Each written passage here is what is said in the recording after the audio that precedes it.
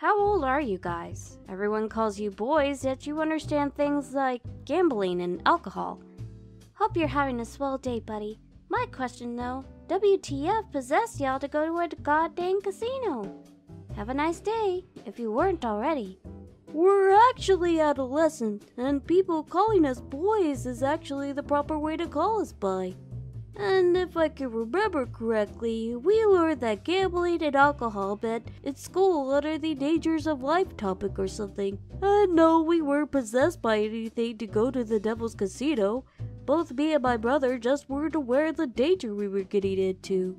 It's actually funny, because we thought that place was some sort of cool game place, and one of us really wanted to go.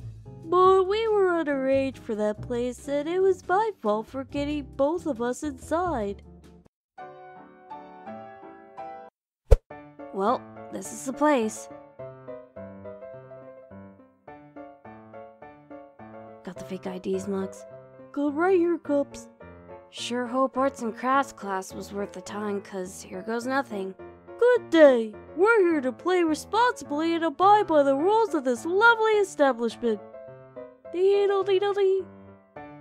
Hmm. Works for me.